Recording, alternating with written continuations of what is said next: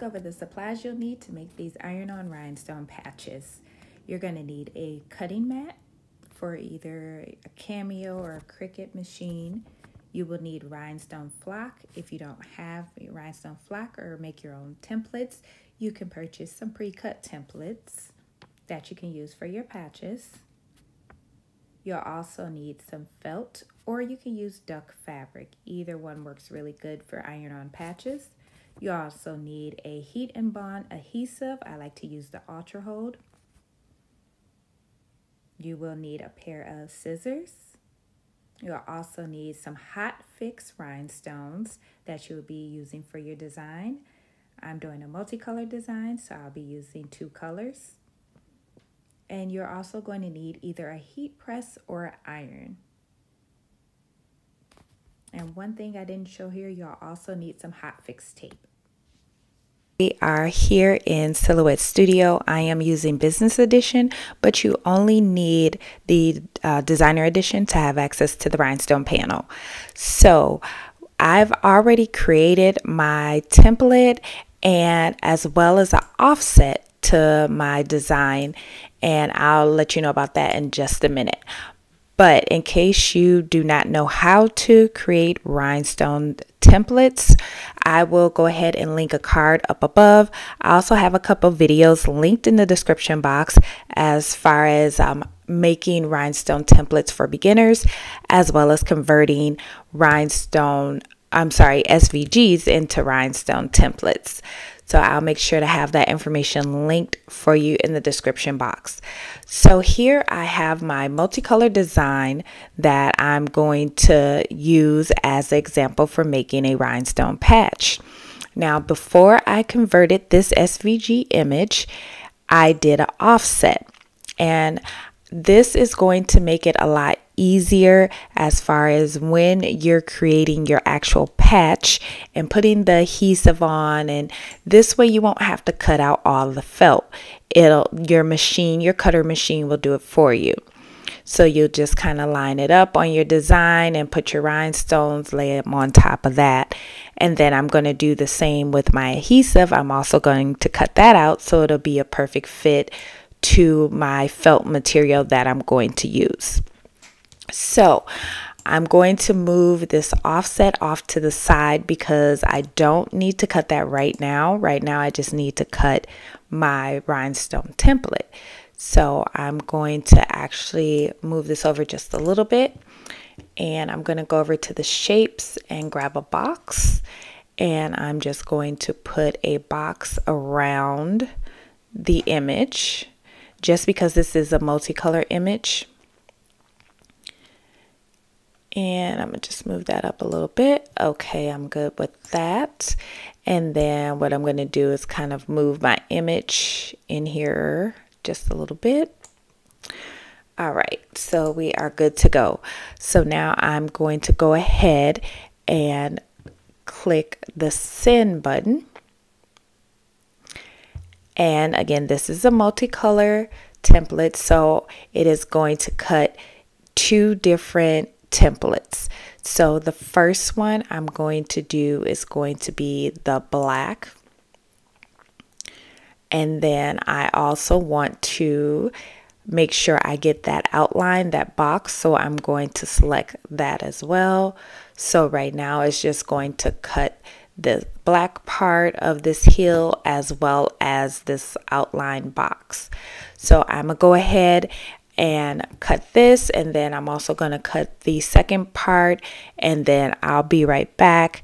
I'll take you guys over to the table and we'll create our transfer and then from there we'll create our rhinestone patch. So I'll be back in just a minute.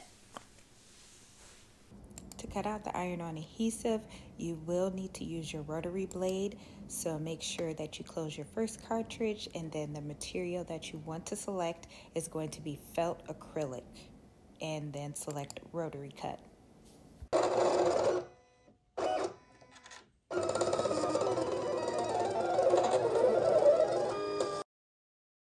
All right, so I've cut out my um, felt piece of my image and this is what it will look like. And so now all we have to do is create our rhinestone transfer and then we can press everything together.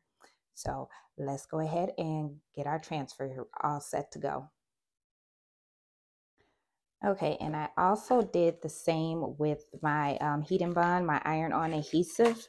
So I also cut this out as well. And for this, I just did HTV glitter for the setting. And you want to have the smooth side down on your mat and the rough side up.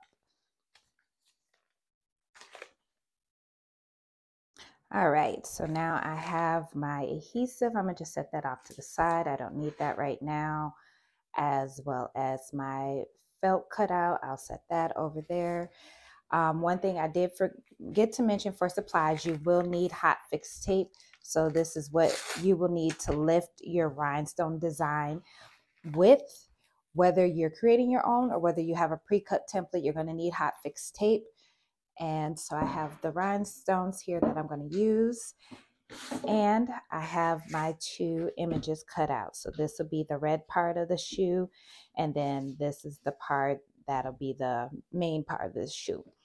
So I'm going to go ahead and start actually with the smaller part. And the supplies you will need be just a painter's brush. And you can get these at any um like Home Depot or Lowe's, Walmart, pretty much any of those stores will have them. And so I'm going to just peel this off and put this down and put my stones on there and brush those in.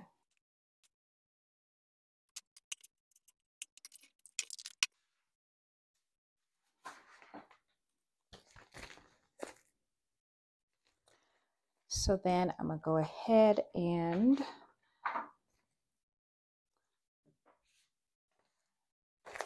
this up.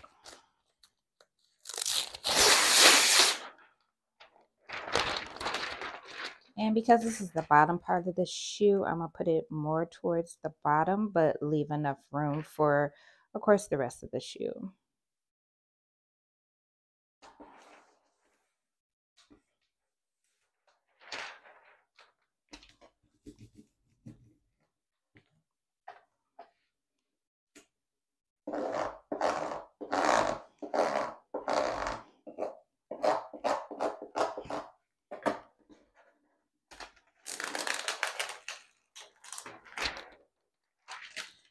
Then I'm to just go ahead and put that backing paper back on and just set that off to the side for right now.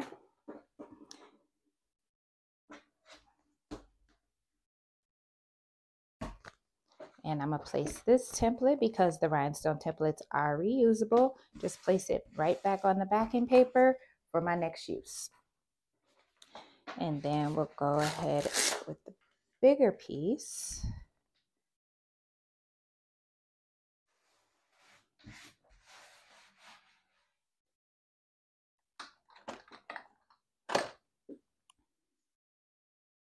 And I was deciding if I wanted to go ahead and do a black or if I wanted to do a crystal AB.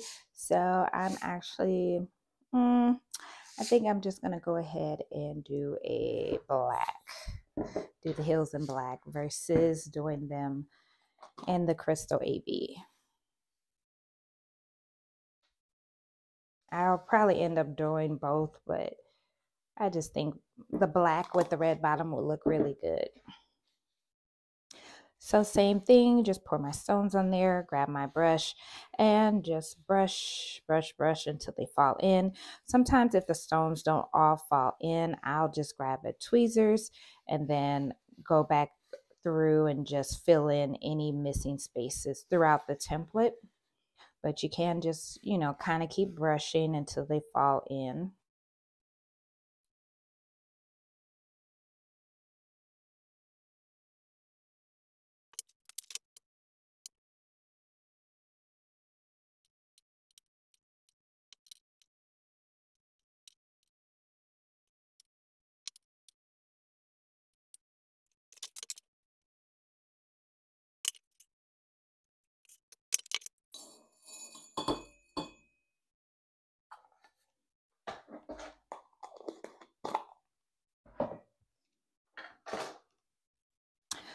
Okay, so now we're ready to line our design up with our template. So I'm going to carefully peel that backing off.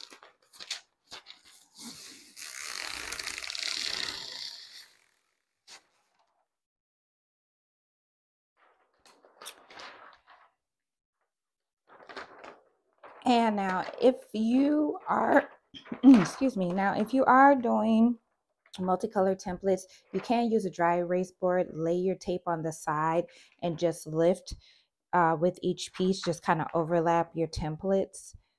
But I'm just going to go ahead and do what I do. And I'm good right there. I'm going to just go ahead and lay it down.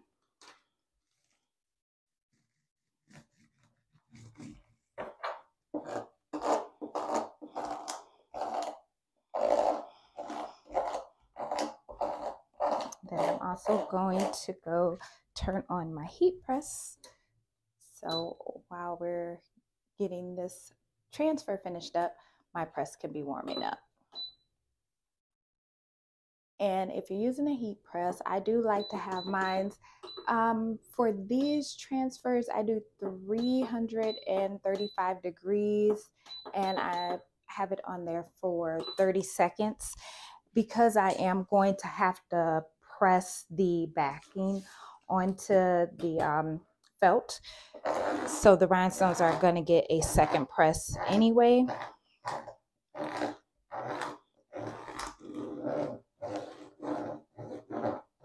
So I found either this scraper or even this roller works really good to make sure all the stones get attached to your hot fix tape.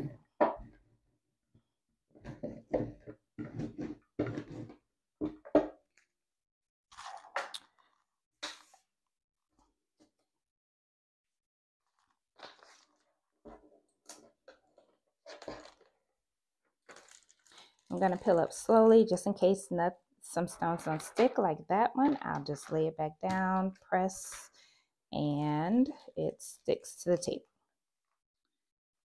All right, so we are good to go. And I'm going to go ahead and still put this backing back on here.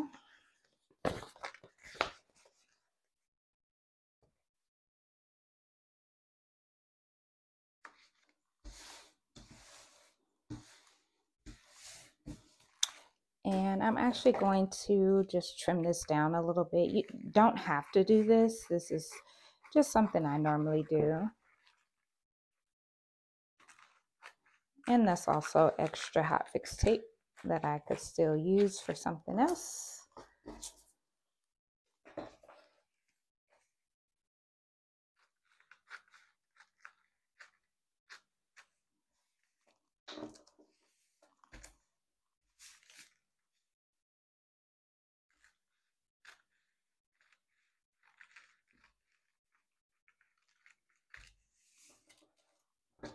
All right. And same thing, I'm going to go ahead and lift up this template and just put it back on the backing paper. And that one got stuck, so there we go. And then just to show you all some of the iron on transfers I have made. The sunflower, um, queen is another one, as well as this uh, bumblebee, which is a multicolor. And then this is glitter. So I used HTV glitter, pressed that to the felt, and then I put the rhinestones on top of the HTV glitter and then same thing put the adhesive backing on there. So these patches are really fun and cute. They definitely um, add a lot of shine to whatever you're going to be putting them on. So I'm going to go ahead and move over to the heat press and then we will get this wrapped up. Okay, so now I have my piece of felt that I'm going to place on my heat press. And then I'm carefully going to line up my rhinestones onto my felt.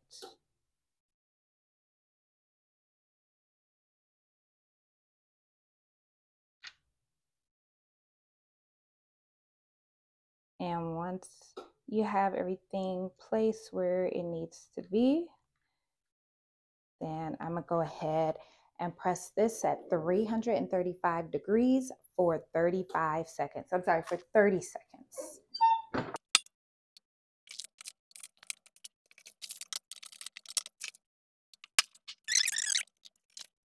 And I also need to turn down the heat on my press. And I'm gonna turn my heat down to 300 degrees for 10 seconds. So while that is, my press is getting to the right temperature, I'm gonna go ahead and peel back my hot fix tape. And so far that looks really good. So now, while my press is getting ready, what I normally do is just go ahead and lay down my iron-on adhesive and start to line up my patch over that. You want to make sure that you have it exactly where it needs to be. So that way when you do iron this patch on, that it does stick securely. Okay, and I have it exactly where I want it. And we're almost at the temperature we need to be. And there we go. So I'm gonna go ahead and press. Again, this is 300 degrees for 10 seconds. So you don't want to press it for too long.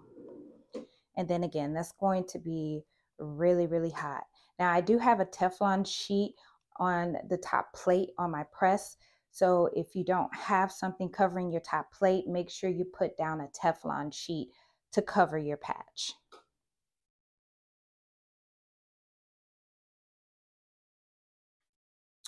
And there she is. All right, so we're all finished up. There's the backing and then you would just peel that off and that is what will reveal that um, backing on there, that shiny adhesive backing. And then that way you could go ahead and press that onto your patch. And so just this here, you just peel that off and then you have that adhesive backing. And then you'll only really need to press when you are peeling off the backing for these patches. You only need to press them for about 15 seconds at 300 degrees if you're using a heat press, or you can use a high heat if you're using an iron. But you don't want to put on one patch and then press it, put on another patch, press it, put on another patch, press it. Line everything up and then do one press at a time, especially if you're doing it like in one section, because your patches will start to burn out. They won't stick, they'll start lifting. So make sure when you're putting a cluster of patches or a bunch of patches on a particular item that you kind of get your placement together and then press as many patches as one time at one time as you can. That way your patches will stick and adhere to your garment like they're supposed to. So I love the way this turned out. If you guys have any questions, drop them below in the comments and I will definitely answer. So I will check you all out in the next video. Bye.